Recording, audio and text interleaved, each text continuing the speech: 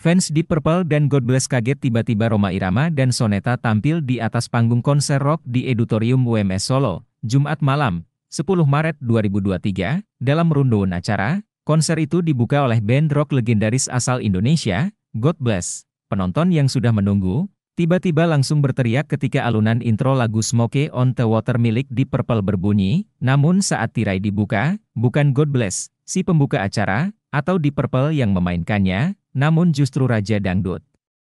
Roma Irama, terlihat Roma Irama memakai kostum berwarna putih yang menjadi ciri khasnya, Gali Lobang menjadi lagu pembuka, kemudian dilanjutkan dengan lagu Fitnah, dan Hari Berbangkit. Penampilan Raja Dangdut ini menjadi kejutan bagi para fans musik rock.